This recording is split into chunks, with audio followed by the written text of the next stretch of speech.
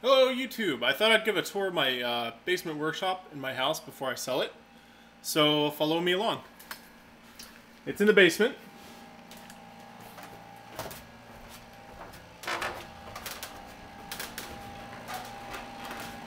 At the bottom of the steps I have this dehumidifier running. Uh, because water likes to come in the house. This is after that downpour we had recently. But anytime I'm down here, I pretty much have to shut it off, otherwise it's really annoying. So around the stairs, this comes to my workshop here. And it's somewhat temporarily installed because I knew I wouldn't be living here forever. Long-term plans was never to live here more than five years, and we've lived here three years and we're already moving. So I just have some drywall supplies, paint supplies, and then here's sort of my catch-all. That's just uh, two sawhorses here with some wood on it. I have a sous vide controller, 8-inch grinder, rust remover, motor, speaker project that's unfinished, some wiring, pipe wrench, bathroom blower fan, Denford Sherline CNC lathe. Um, I need to build a controller board for it.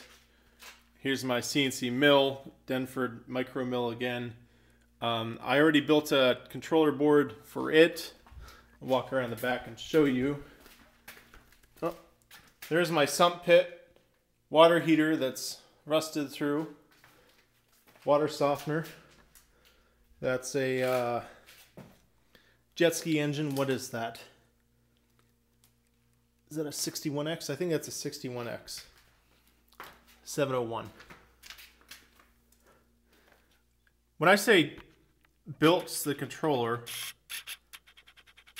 well, I have some videos on this, but really it was just a, uh, a parallel breakout board that interfaced with this motor driver board. So the parallel board takes signal from the computer and tells the stepper driver board what to do. And that all works pretty good. Coming back around, uh, I haven't cleaned anything, so you guys see exactly how it was. Um, I have a, a table and a base for a drill press that I'm restoring. Other random junk. I have I don't have these labeled, but one's all plumbing shit and one's all electrical shit. Um, here's parts for that drill press. These are mechanical bits and then painted bits. Uh, here is a old machinist toolbox. Try to keep all my nicer measuring tools in there. Um, Wrenches, Harbor Freight, these sockets have lasted me like a very long time. Drill press motor, old uh, Coleman stove for camping. Part of an unfinished speaker project. I have, uh, it's a old time radio and I was putting Bluetooth in it, but I got distracted like last year. Uh, here's a workbench that I had built and not finished. I even recorded a bunch of video for this, but um, since I'm never going to finish it, I don't know if that video will ever see the light of day. Um, more drill press parts. There. My Bosch tools. I got some vices. This would be for a woodworking bench that I'd like to build someday. I have a whole bunch of reclaimed lumber at my new place that I'm going to build a workbench out of. And then two other bench vices a IV pump. This would be for veterinary use. Um, my wife and I own a veterinary hospital, and this was one of the old ones. So she said, "Hey, take it home." And I don't know what I'm going to do with it yet. Either tear it down or maybe try to sell it on eBay. I think those were going for between 50 and 200 bucks. I'm not sure. Here's my grinder. This is a small one. It's pathetic. Um, here's my sound system. Like to listen to StarTalk radio when I'm down here.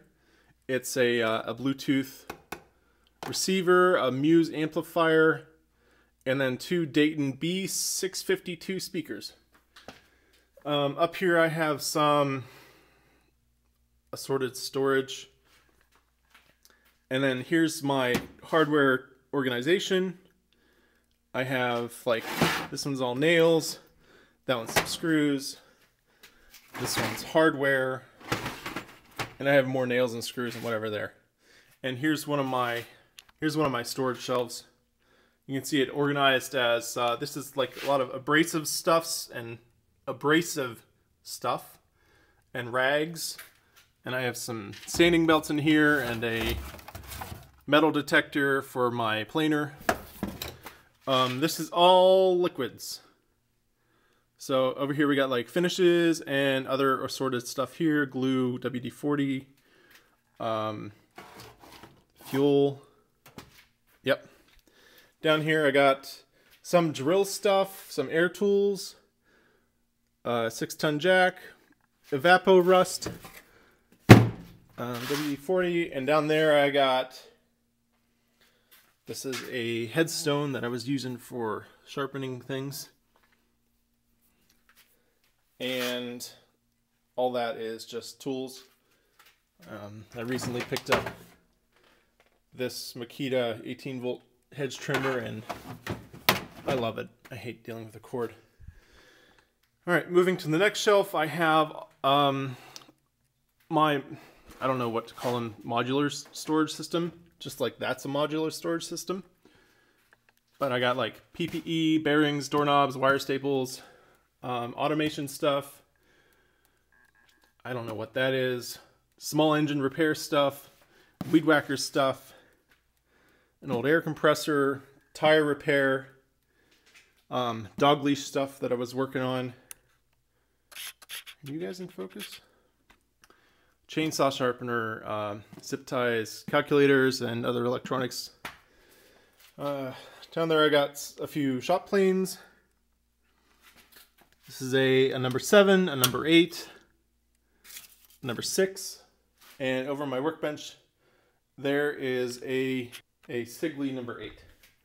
And then below I got other stuff like shims and more PPE uh, saws, an old chainsaw. I moved all my other chainsaws to my other place already, and a gas-powered concrete cutter, a TS400.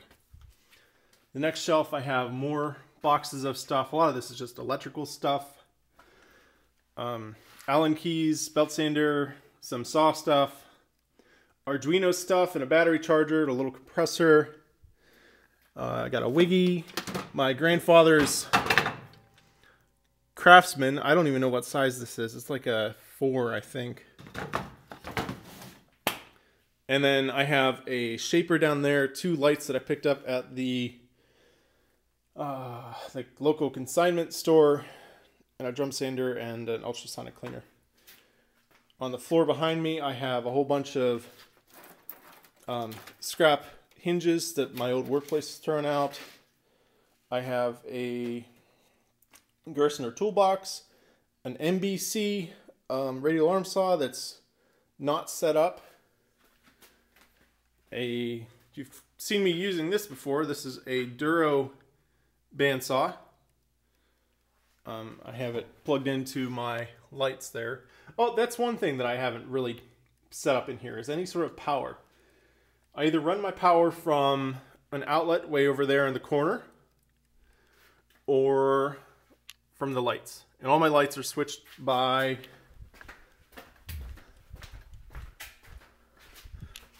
right there is my switch.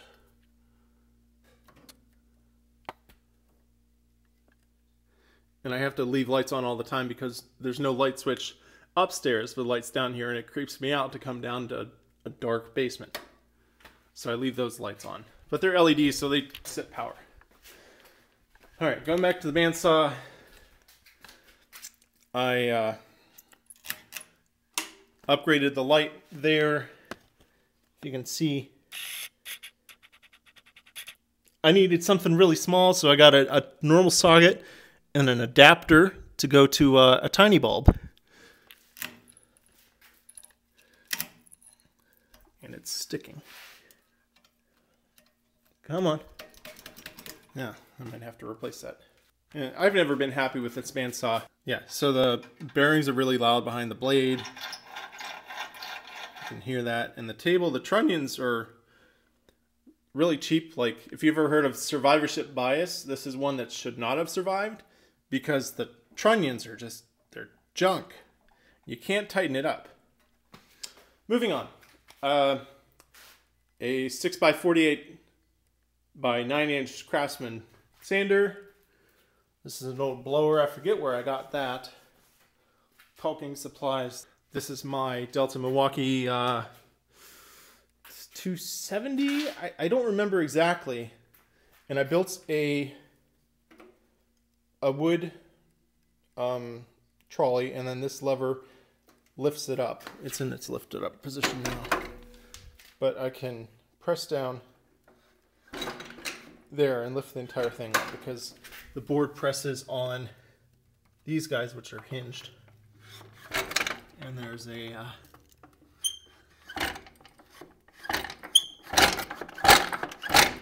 yeah. Oh, another cool thing here is oh yeah, Byrd Shelix.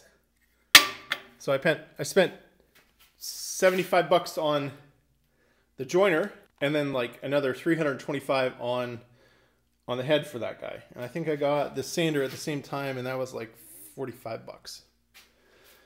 Uh trash bin. This is that barrel that I used for the water wheel, bottom half of it.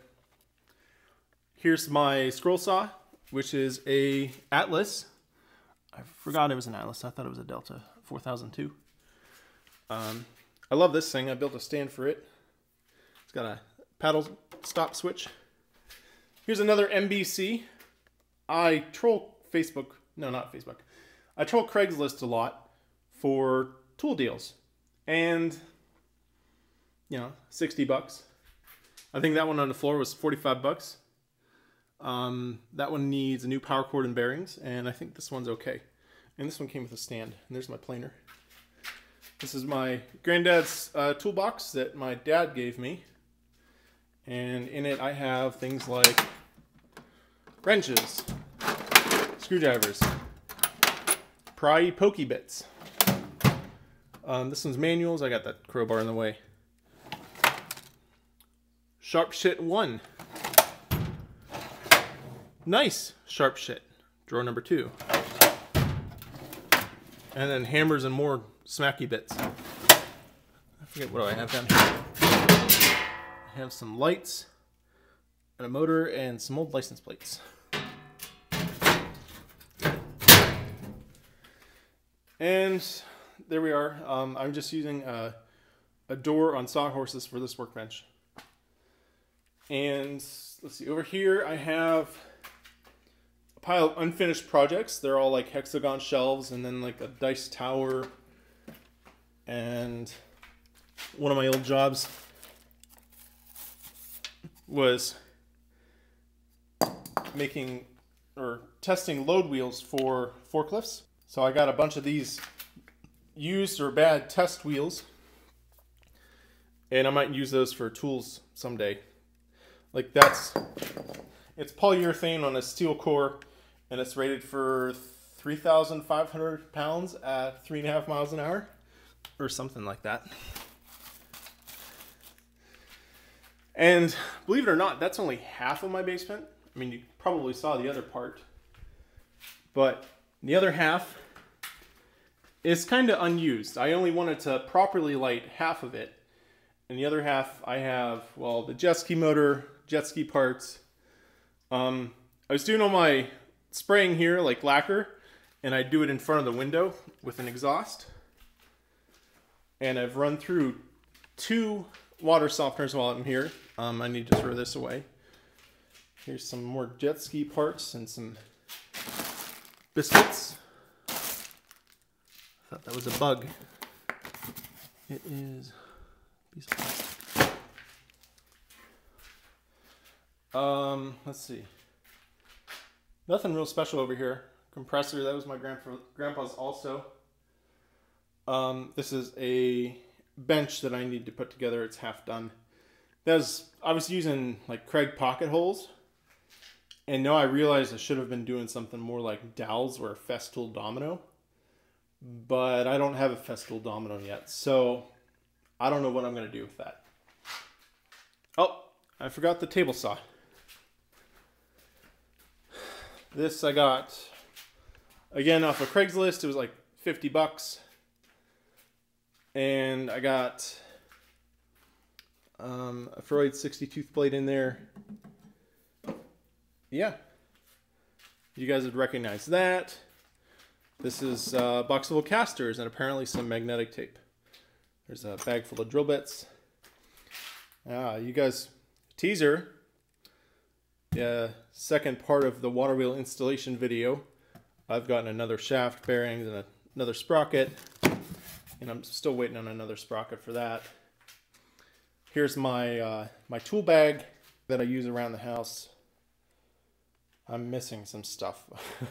I'm not the most diligent about refilling or replacing the tools where I got them from. And like, here's where my Makita, you know, that repair drill that I did goes. It doesn't have a quick chuck on it. You know, it has one that requires a key. But I use a, uh, yeah, one of those pokey bits to quickly switch out my bits. So this works great for anything around the house, like hanging picture frames or I don't know what else, you know, whatever. Replacing uh, battery doors on the kids' toys. Not that we have kids, but we have nephews and whatever. Yeah. Um, let's get you to focus back on me. Okay. Uh, so if you like that, you can like, comment, and subscribe. Uh, you can also follow me on Twitter at Joe Malovich. Sorry, no, at Joe underscore Malovich. Yes.